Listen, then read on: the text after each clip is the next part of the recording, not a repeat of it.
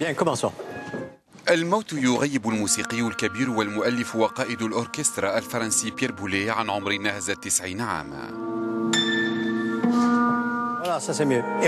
بولي الذي طالما لقب بالعبقري وفاته المنية في بادن في جنوب غرب ألمانيا وخلال مسيرته الفنية قاد بولي أوركسترا كليفلاند شرق الولايات المتحدة وأوركسترا بي بي سي في لندن وكذلك أوركسترا نيويورك من النمطي القول إن الموسيقى المعاصرة مملة أو أكل عليها الدهر بالعكس هناك مرح واستمتاع أكثر من الاستمتاع بالموسيقى الكلاسيكية للاحترام الذي نكنه للأخيرة.